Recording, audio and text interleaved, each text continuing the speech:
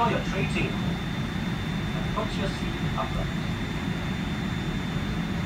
Store your in-seat